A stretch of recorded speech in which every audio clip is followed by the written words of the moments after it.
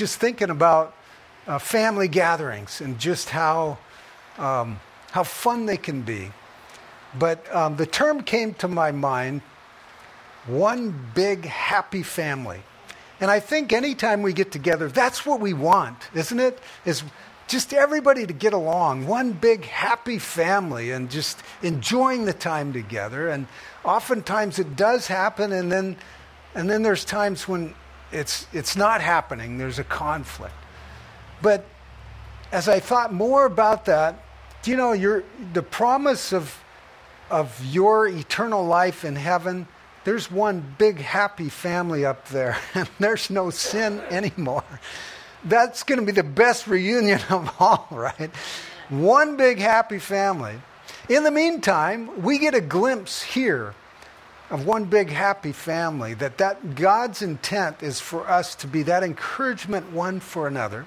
That when we come together, that an oasis, that time to uh, reflect and to hear about each other's journey during the week, and then uh, be built up to go out and serve the Lord uh, throughout the week. But one big happy family, a glimpse of heaven where everybody gets along. And you know, it is amazing because when you come here, um, you really are on your best behavior. So thank you for being on your best behavior when you come here.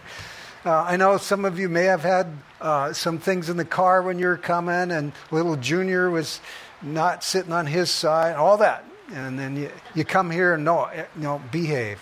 So, so in that, God has been working in you to um, really, um, it's part of the making of the family of God. You've been in training to be part of a family, part of the family of God, not just here at Evergreen, but wherever you go, there's this the Holy Spirit in you is the making of this connection with different um, people um, that believe in Jesus, and you get to connect to them at different places. Maybe at work, you know somebody that knows Jesus, and there's this family connection, and you nurture that family connection. And so, wherever you are, there is this desire to be family and, and to be loving and kind. And, and so, last week we are coming through um, Acts chapter 4, and there's something Holy Spirit that happened, just amazing uh, happening, is when the Holy Spirit uh, poured out, there was. Um, the disciples began speaking Jesus' name boldly they weren't embarrassed. They weren't afraid. Jesus had just been crucified. When the Holy Spirit came upon them, they were speaking with boldness the name of Jesus. And even Peter and John said, Whom you crucified, no fear. Is that amazing? That when the Holy Spirit comes upon you, there is no fear. There's, but speaking, the reason why you live and breathe is because the Father sent the Son to, to give you new life. And so you're operating in that new life, the Holy Spirit in you. Uh, so uh, as they spoke the name we looked at last week, the name of Jesus, they were warned by the leadership of Israel, the religious people, don't speak in the name of Jesus anymore. And so they threatened them. So they came and reported back um, to their friends and their family about what had happened. And uh, and they began praying all together. They began rejoicing. So, the first thing they did, and we talked about this last week, they acknowledged God in the praise of creation. So, we talked about you and I, that needs to be, we're commanded to praise God, but it needs to be our response in any situation to begin praising God and recognizing how powerful He is and that we're a part of this creation and this plan that He has made. And so we talked a little bit about this morning that we're commanded to do that. That, that wards off a lot of stuff when we begin praising Him. The better we are at praising God and thanking Him and acknowledging who He is. So that's what they did. They immediately, filled with the Spirit, they began praising God. And then they acknowledged God in the signs of the times. They, they acknowledged the prophecy coming real that it was Jesus Christ whom David was talking about in the Psalms. So they acknowledged God, they acknowledged his sovereignty. that God is in control of all things, even through suffering. God was in control of Christ being tormented and suffering and dying on the cross and then coming back to life again. That that was God's plan. And so we recognize even God's sovereignty in the suffering that we go through. So the third thing they did was they prayed and they recognized their participation in God's plan and they prayed that they would speak boldly the name of Jesus and that through them healing would happen through them in the name of Jesus. And then, so if you open up your scriptures to Acts chapter 4, verse 31, God was so pleased with their prayer. God was so pleased with them, he acknowledged what they were saying because they were praying exactly what he wanted. In verse 31, and when they had prayed, the place where they were gathered together shook.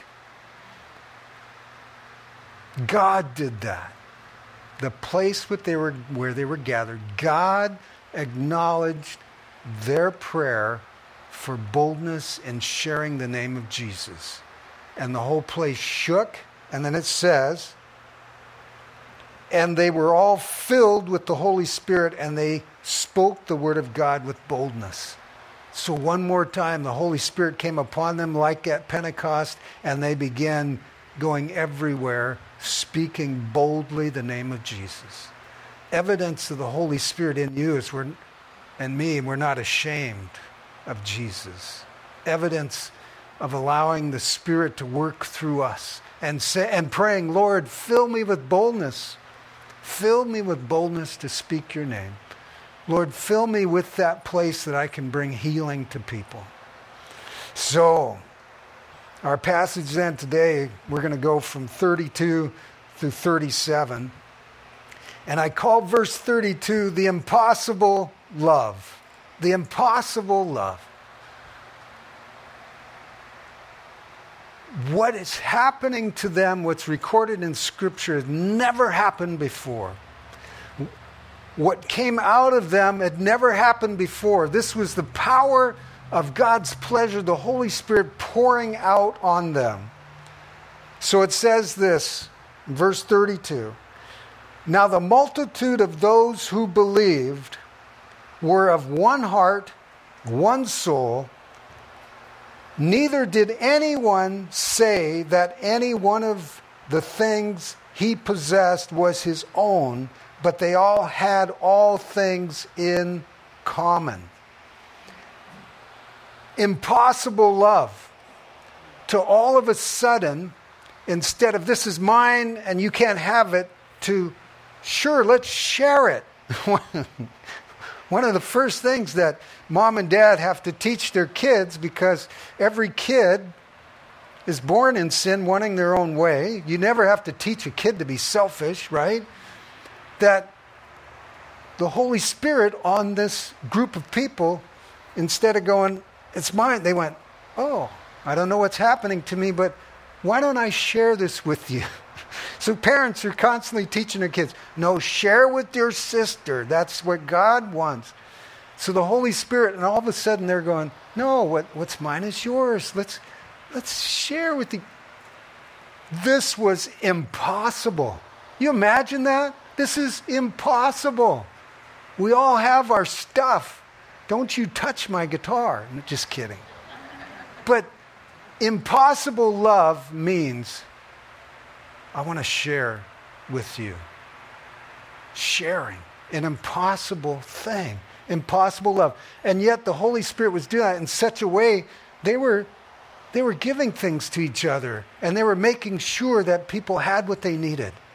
Isn't that beautiful? So every time you and I have that urge and we begin doing that, evidence of the Holy Spirit. Because Without the Holy Spirit, it's selfishness. So you're being trained by the Holy Spirit to be unselfish and, and giving. And it's an amazing thing, a glimpse of that impossible love. So the first thing that it says here is it says, Now the multitude of those who believed. So they believed what? Well, they believed in Jesus, they believed who he is. Uh, the, the Pharisees were constantly asking Jesus, Are you the Son of God? And finally, Jesus would say, It is as you said, I'm the Son of God. And then they wanted to kill him because they said, You are blaspheming. So, Son of God. Um, the centurion at the foot of the cross, when the earth quaked and shook and the darkness came, he said, Surely this was the Son of God. So, what I'd like to do is they, they believed, all these people, the, the Spirit came upon them because they believed in Jesus, who Jesus is and who Jesus said he was. And so, what I'd like you to do is take a journey with me um, through the book of John. And we're just going to skip through it and see what did Jesus say about himself? So start out in John. So you're in Acts now. Just go back one book to the book of John. And let's just let's just skip through this and see what did Jesus say? What do you believe about Jesus? Does it line up with what Jesus said here? So in John chapter 3. So get ready to just turn your pages. John chapter 3.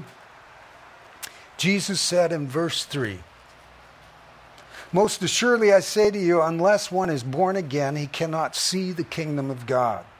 Verse 5 Most assuredly, I'd say to you, unless one is born of water and the Spirit, he cannot enter the kingdom of God. You need a new birth.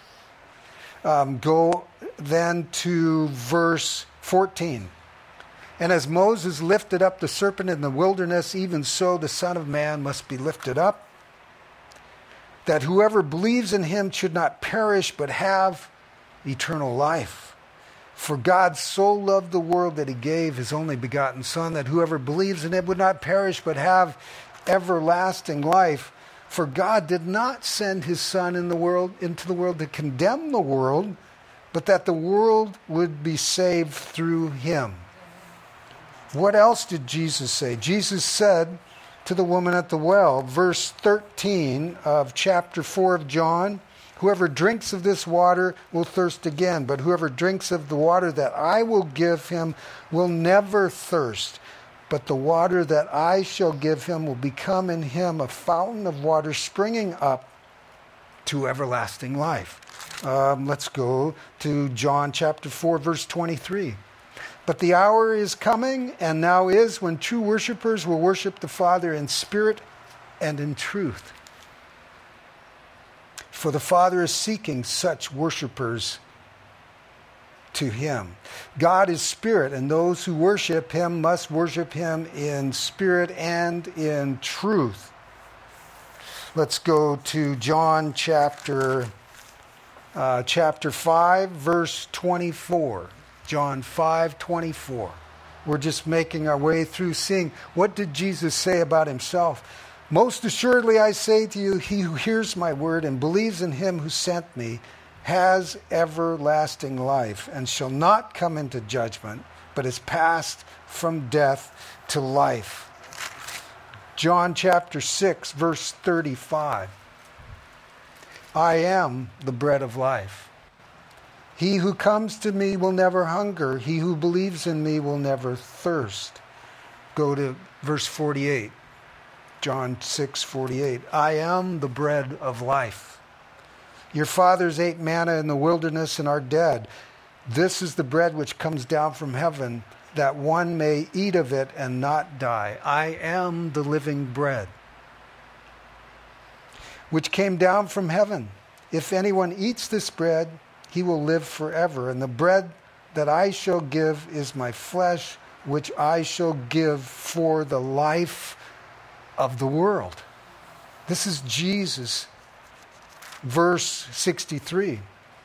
It is the Spirit who gives life, and the flesh profits nothing. The words that I speak to you are spirit, and they are, they are life. John chapter 7, verse last part of verse 37, 737.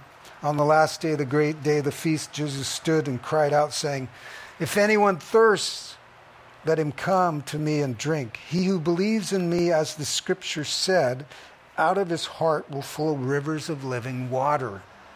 And then the scripture says, But he spoke concerning the Spirit, whom those believing in him would receive, for the Holy Spirit had not yet been given Jesus has not yet been glorified. Jesus is talking about life. Chapter 8, verse 12 I am the light of the world. He who follows me will not walk in darkness, but will have the light of life. John chapter 8, verse 36 Therefore, if the Son makes you free, you will be free indeed. John chapter 8, verse 58, Jesus said to them, Most assuredly I say to you, before Adam was, uh, Abraham was, I am. John chapter 9, verse 35, Jesus heard that they had cast him out. When he had found him, he said to him, Do you believe in the Son of God? He answered and said, Who is he, Lord, that I may believe in him? Verse 37 Jesus said to him, You have both seen him, and it is he who is talking to you. And he said, Lord, I believe. And he worshiped him. What did Jesus say about himself? Chapter 10 I am the door of the sheep. Verse, uh, chapter 10, verse um, 7. I'm the door of the sheep. And he says, verse 9, I am the door. If anyone enters in by me, he shall be saved and will go in and out and find pasture. The thief comes not only, not, the, the thief comes not, okay, let me start. The thief does not come except to steal and to kill and destroy. I have come that they may have life and they may have it more abundantly. Verse 11 I am the good shepherd. The shepherd gives his life for the sheep. Verse 27 My sheep hear my voice, and I know them, and they follow me, and I give them eternal life, and they shall never be snatched out of my hand. chapter 11 of John, verse 25 I am the resurrection and the life. He who believes in me, though he may die, he shall live. And whoever lives and believes in me will never die. Do you believe this? In John chapter 12, verse 35 A little while longer the light is with you. Walk while you have the light, lest darkness overtake you. He who walks in darkness does not know where he's going.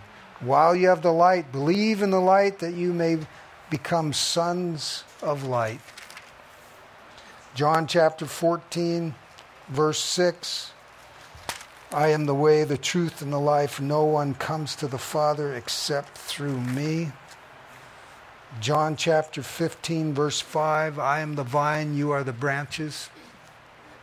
He who abides in me and I in him bears much fruit, for without me you can do nothing. John chapter 15, verse 7. If you abide in me and my words abide in you, you will ask whatever you desire, and it will be done for you. By this my Father will be glorified, that you bear much fruit. chapter 16 of John, verse 13. However, when the Spirit of truth has come, he will guide you into all the truth, and he will not speak on his own authority, but whatever he hears, he will speak, and he will tell you all things to come. Chapter 17, Jesus says this Father, the hour has come. Glorify your Son, that your Son also may glorify you as you have given him authority over all flesh, that he should give eternal life to as many as you have given him. And this is eternal life, that they may know you, the only true God, and Jesus Christ, whom you have sent. I have glorified you on the earth, and I have finished the work which you have given me to do. And now, O Father, glorify me together with yourself with the glory I had with you before the world was.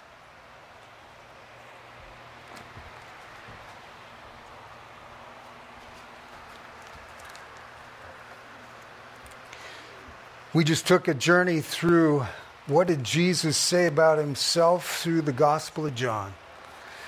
If you are um, discipling anybody, if there's a new believer that has come in and needs to be confirmed in who Jesus is, take him to the Gospel of John and start marching through. Need to know. So, the first thing that we saw back in Acts chapter 32 is uh, Acts chapter 4, verse 32. Now, the multitude of those who believed, they believed in Jesus, the Messiah, the Son of God. They believed in him. And with one heart and soul. With one heart and soul. Isn't it amazing to think that the possibility of being with people that have the same heart and soul, the very core belief inside of them, may be sitting right with you right now? That they believe in the same thing as you for life their decisions are based on believing in Jesus. That brings comfort to know that kind of security that the core belief of those that believe in Jesus are the same as yours. Perfection not cried, only Christ was perfect. But that's the core belief in where so when when you think about family together, this is huge to think of all the family reunions you've been to, that the ones that have that same core belief that you have, that you're, you're able to have security and you're able to um, rejoice and you're able to have the same mindset. Isn't that amazing? Because in, in all of our gatherings, there's those that are not converted yet. And there's only a certain amount of connection that we can have with them. But when you find others in that group with that same connection, you connect because it's that same core belief. And there's comfort in that, isn't that? There's comfort there knowing that they care about you, knowing that Jesus said, Here's the very center of my teaching love the Lord your God with all of your heart, with all of your soul, and with all of your mind. and love your neighbor as yourself. When you, when you realize there's others that have that same love for God and concern for you, it's an amazing comfort, isn't it? That they believe in that teaching, that core teaching, that same comfort. So here was this group of people that came together. The Holy Spirit had given them a heart and soul. They had the same, same heart and soul. And so that's where that common, hey, I want to share that's where the safety came in and sharing with others is that they had the same heart and soul as the pure, as the person next to them. And so they knew that it was going to come back. They knew it was one big happy family because they, they were of the same mindset. And I think it's amazing that that's where the Holy Spirit brings us to. And so we find that comfort like they did right there, the Holy Spirit, and what was common among them.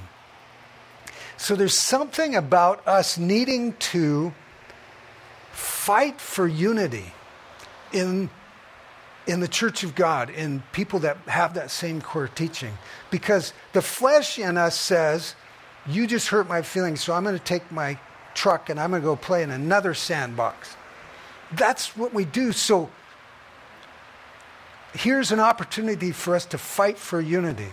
And I appreciate Yvonne talking about when we are there at uh, the old settlers helping out there. We're not saying, Evergreen Church, that's the best church on the block. You need to, it's, here's a place where you can gather where there's family, you know? So, fighting for unity. Um, go to the book of Psalms and look up Psalm 133. And I've, uh, I've read this over and over again, and here's one you could memorize because it's only a few verses. But I've read this over and over again, but this last week I spotted something right at the end. And I thought to myself, and maybe you've been there, why didn't I see this before? But here's God's heart over unity and over a big, happy family of God, look at his heart. In 133, he says, Behold, how good and pleasant it is for brethren to dwell together in unity. This is God's heart. This is what he wants to see from people that believe in Jesus. This is like the calling card for those that believe in Jesus is this unity and this love for one another. So he says, Behold how pleasant, how good and pleasant it is for brethren to dwell together in unity. And he says, It's like the, it's like the oil on the head running down the beard, the beard of Aaron. And he says, It's like the dew of Mount Hermon descending upon the mountains of Zion. And look what it says right at the end there. For there the Lord commanded the blessing, life forevermore. I missed that part. What does that got to do with unity? Do you know when it talks about Mount Zion, do you know that that was where Jesus was crucified? Do you know that that is Jerusalem? You, Mount Zion? When we get it, when we get it, he says that unity, this is the core belief of you and I. He says, For there the Lord commanded the blessing, life forevermore. that, that place, we get a glimpse of it here, but that place in heaven where there is no more sin and it's one big happy family. and we get to be part of that here and now when we ask the Lord, fill me with your spirit, help me to obey and do things your way. Help me to love those around me. Help me to speak boldly of the name of Jesus. So it's an impossible love. But this is the, what the Holy Spirit did in them, and that's what He's been doing in you and me, is showing us this new life that we've been designed to live in. So go back to Acts chapter 4. So the first thing was the impossible love, and in verse 33, Acts chapter 4, verse 33, it says, With great power the apostles gave witness to the resurrection of the Lord Jesus, and great grace or abundant grace was upon them all.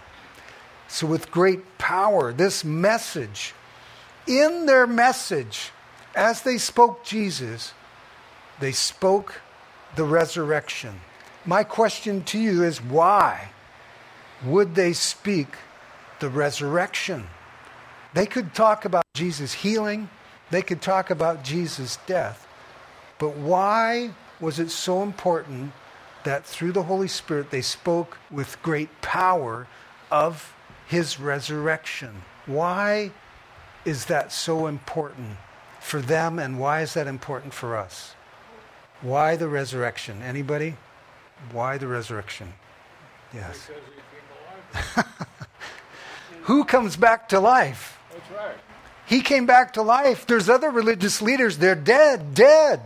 Jesus not only claimed that he would come back to life, he proved it, came back to life. For 40 days, he walked with his believers.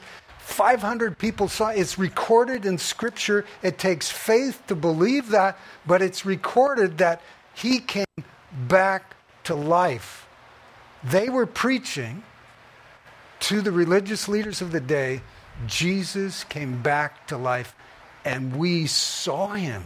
We witnessed this truth that he came back to life. How, how much higher can you get than that? When you're talking about Jesus, how much higher can you get about speaking about the resurrection, that he came back to life, and that he promised his believers, those that followed him, would have resurrection life also? He's the first fruit of coming back from the grave you and I are promised the resurrection life and the resurrection body forever. He commanded blessing on Mount Zion, life forever. Forever. You and I are privileged to be a part of that by simply believing in Jesus. Life forever. This, this is an amazing thing. I've been um, stopping, uh, Natalie's been busy at this, during the summer doing camps, and so I've been trying, it's out of my norm, but I've been trying to pick up dinner for her, and so I stopped at the food truck. And so I use those opportunities to talk to people there. We have something in common. It's uh, food. And so we talk about that a little bit. And then I just start asking him, um, so are you from Whatcom County? And that, and that starts another conversation. And then I say, do you believe in Jesus? I, and this gal I was talking to um, this last week, she said, you know, uh, well, I asked her, I said, why don't people believe in Jesus? Said, she said, well, they have a free choice. And I said, do you believe in God created all things and there's a promise of uh, eternal life through Jesus? And she said, it'd be horrible not to believe that there's eternal life. Now, she didn't say through Jesus, but we are going down that road. So she had some kind of hope of life after this. But it's amazing to think of that promise. It's not just something you thought of that was a good thing to think of, and it's warm and fuzzy, but it's a truth that through Jesus Christ, there's the promise of eternal life. And speaking of his resurrection, it said, with great power, they spoke they gave witness to the resurrection of the Lord Jesus. And it says, Great grace was upon them. So the, the privilege, what, what, is, what is grace? What, that's unmerited favor. So great grace was upon them. The privilege of God using them as a voice to speak the truth to a world out there. This is Holy Spirit stuff. This isn't something you and I just go to school, go to Bible school and get trained on how to share and then go out in the street and share. This is, this is the Holy Spirit to anyone who believes because it's wanting all Christ heart. Why did he come? He wanted to save the world. He wants all to come to this big happy family. this big happy family. He wants all to rejoice forever and ever in the one who's created and designed them. So you are privileged. So you have that privilege and that responsibility in partaking of this grace. So Ephesians, what, 2 um, 8. So if you know it, maybe you can say it with me. For by grace you've been saved through faith. It is a not of yourselves, it is the gift of God, lest anyone should boast.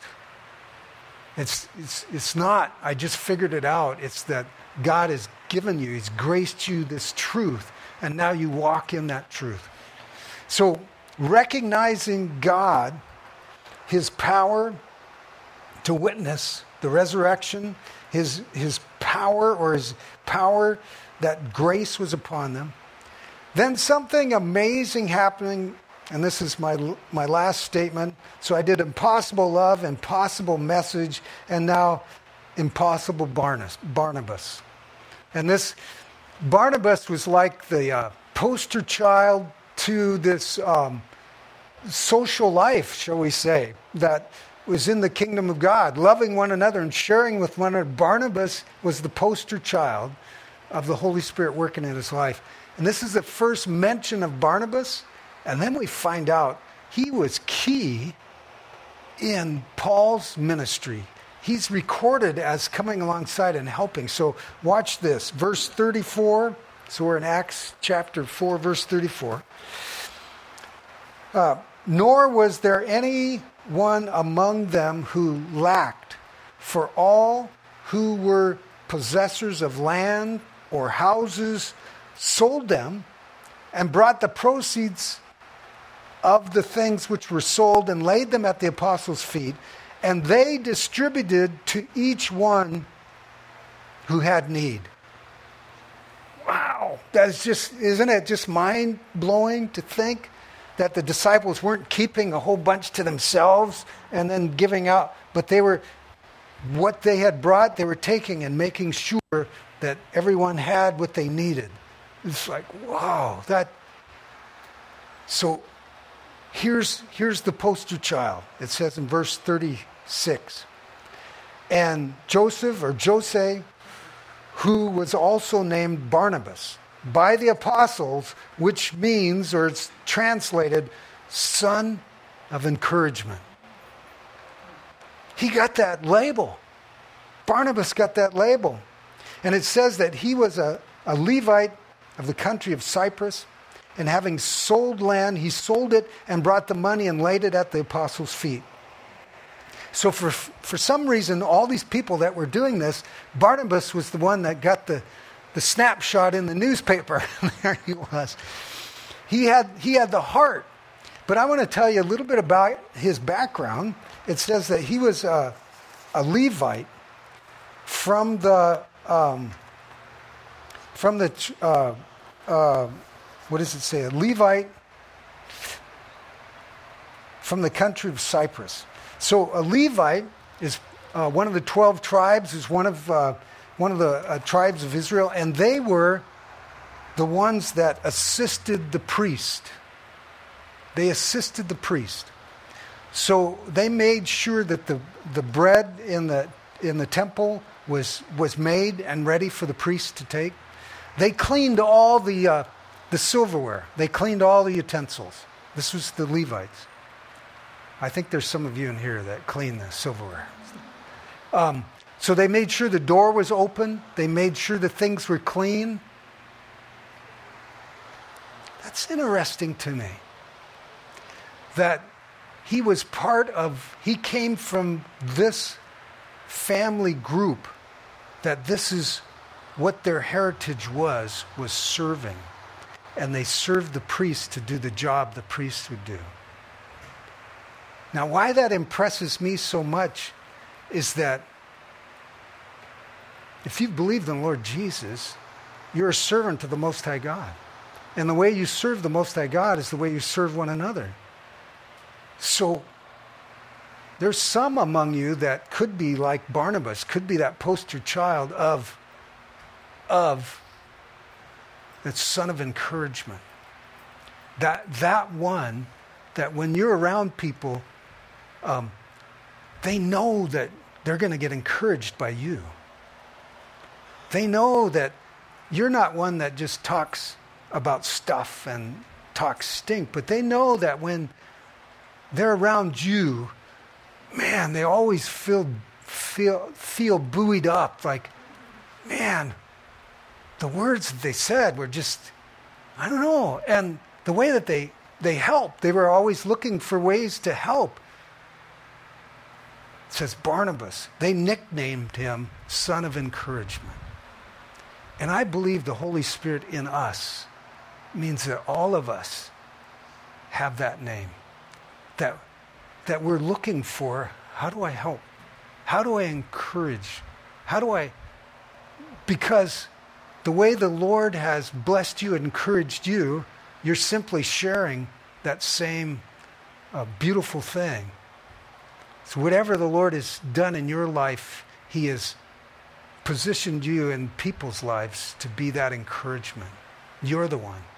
So I'm excited about this opportunity to uh, help out with, um, with uh, old settlers, that we're going there to be that encouragement. And my hope is that the church that's praying for us that are there, that the spirit of encouragement of the Holy Spirit in us would be that for people around us. Because there's going to be people asking questions Where do I go? What do I do? I have a problem here. And it's like, well, let me help you. No, aren't those cool, cool words that you would ever hear? That your friend or somebody comes to you and says, How can I help you? Is, is there something I can do to help you? Maybe they've uh, seen it in your eyes and they go,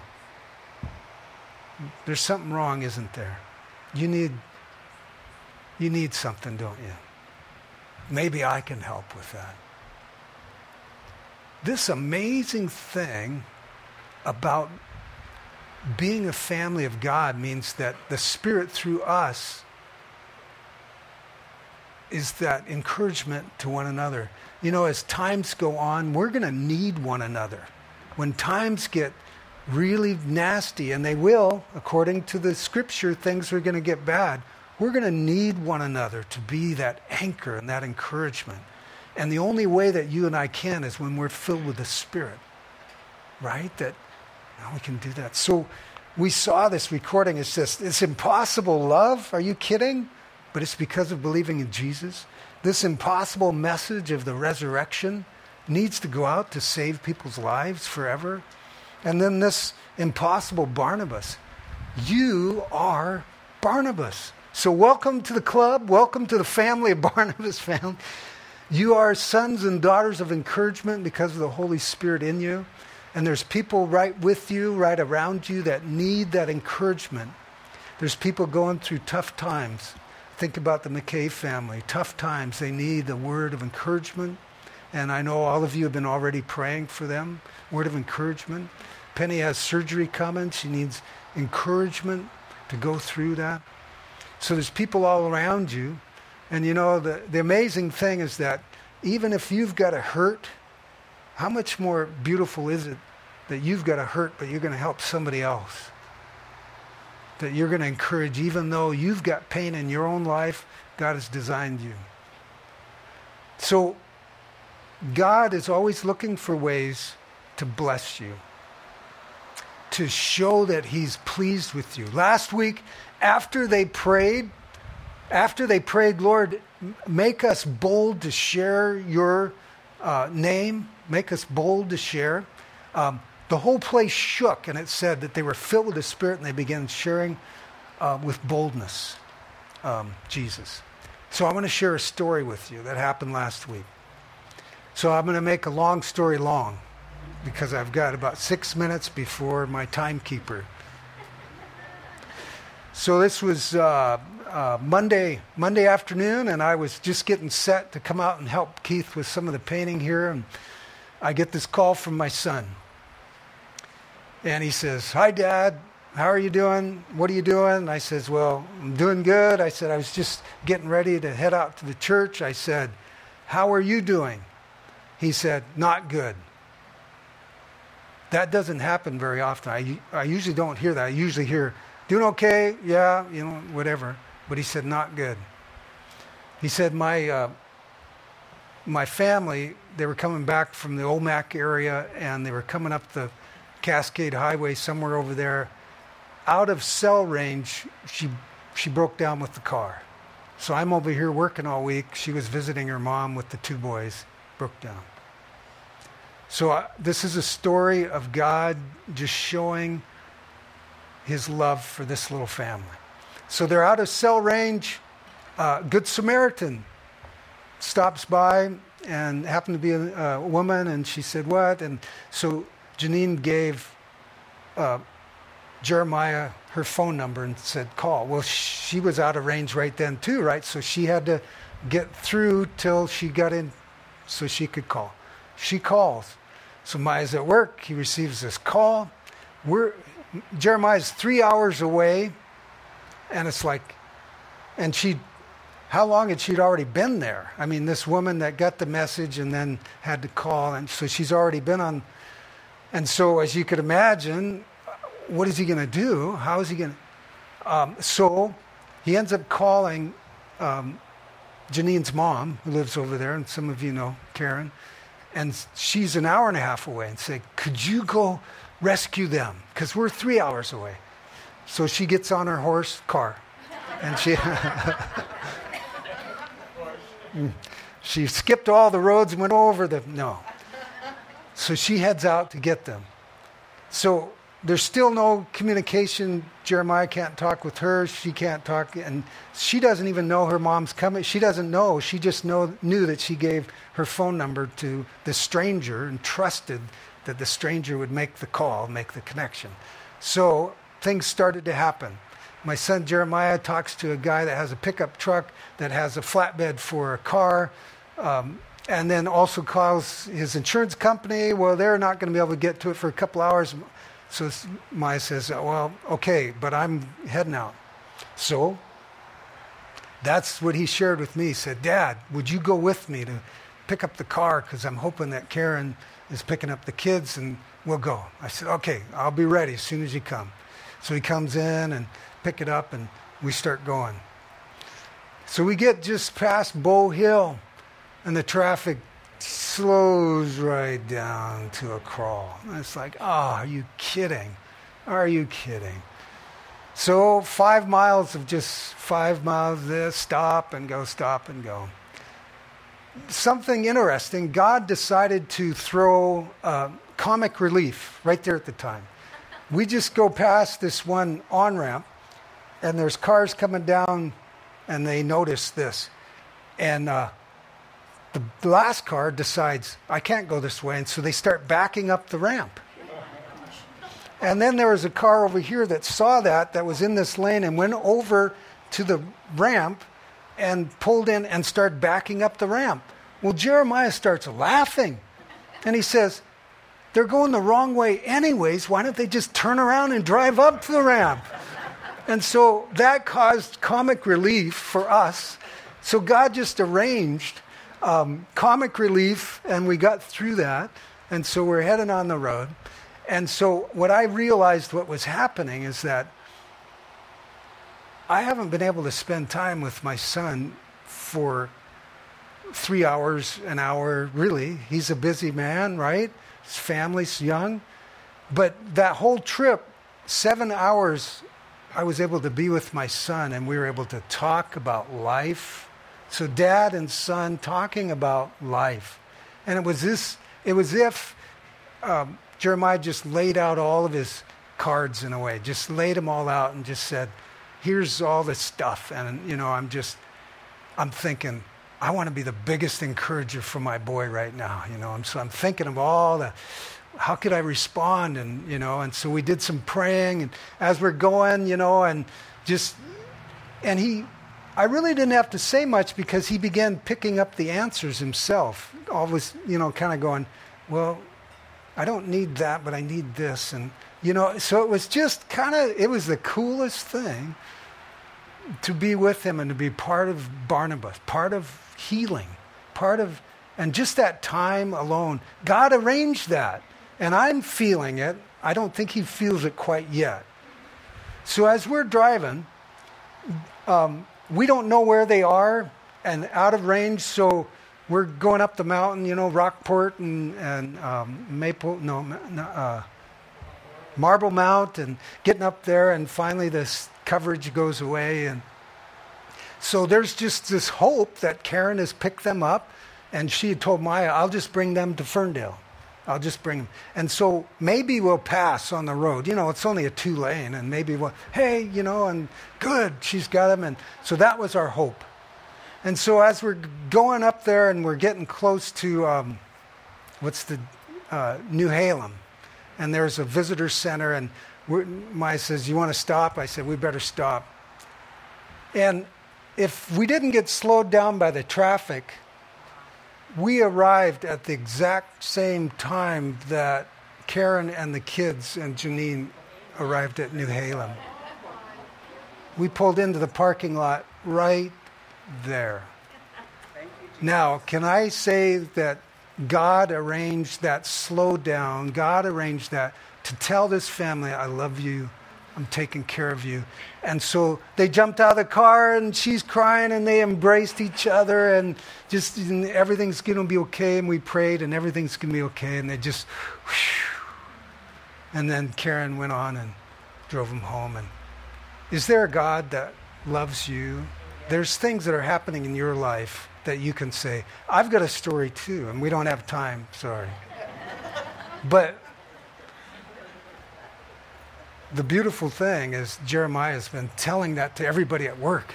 God's God loves me. Look at he's done these things and so whenever stuff like that happens, we need to glorify God and tell the world this happened to my son. This this happened. This happened. This happened and you can know them. You and I are meant to be those encouragers and he has given you stories to encourage others. And the greatest story of all is Christ died for your sins so that you're brought back to God and you're in that family of God. And that you and I are meant to help one another to grow and to love the Lord. Yeah. What was the part I missed? the Lord knew that, and He sent Howard and Bradley to help. so if you didn't hear that, I sent a message to, Ta- uh, to Keith that I wouldn't be here because I'm going to go save my son's family with him. And he didn't get that, but when he got here, um, Howard and Bradley showed up and took my place. Amen. And it was all God arranged. One more piece of the story it keeps going. Oh, I'm over by three minutes. So, anyways, um, the Holy Spirit these are the signs of the times is the Holy Spirit wants to use you and me. Your nickname from now on is Barnabas. And maybe you've already started to recognize that that why are people coming to me? It's because you have the spirit of God. You are that one that encourages and you're you're helping. That's why they're coming to you. That's why. But you're going to see that more and more as the words you speak and the things you do help people to find Jesus. He said, I commanded blessing, life forevermore. The family of God. We get a glimpse of that here, but ultimately, in a few short years, really, a few short years, we'll experience the reality of your faith here. So, Father, in Jesus' name, we bless your name. We thank you that you've arranged that we would be here right now. Getting through the stuff, praising you, and acknowledging the truth that you called us to be a part of your family and to love and care for those around us. And those that don't know you, we could show them the door to eternal life through Jesus. So we thank you, Lord God. Lord, would you take our lives this week? And would you help us to find ways that we could be nicknamed Barnabas? In Jesus' name, amen.